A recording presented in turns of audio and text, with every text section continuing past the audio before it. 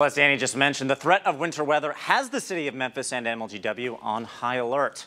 ABC 24's Zaria Oates continues our team coverage from downtown Memphis, where a news conference wrapped a short while ago. Zaria, what were the key takeaways of that update?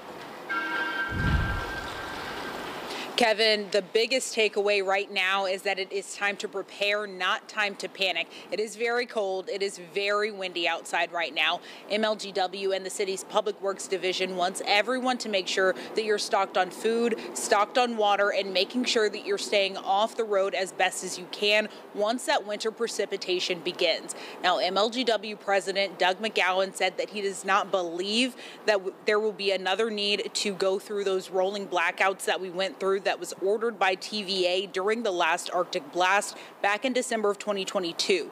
McGowen said there still could be an energy conservation alert. This is a voluntary option to cut back how much electricity you're using to prevent any issues from a higher electricity demand during those cold days ahead.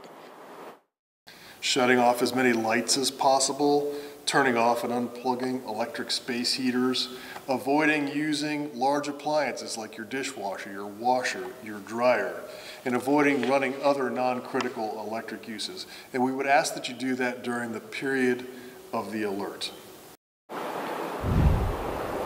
Now, President McGowen isn't expecting this alert to take place until Tuesday, but there is that possibility. So make sure that you're aware that that is an option. It is voluntary. Tomorrow morning, Saturday, the city's Public Works Division will head out and be salting and brining the roads to make sure that they're as safe as possible in these conditions to drive on. And there will be another meeting from the city to give an update on the conditions on Monday. We'll keep you updated here and online at abc24.com.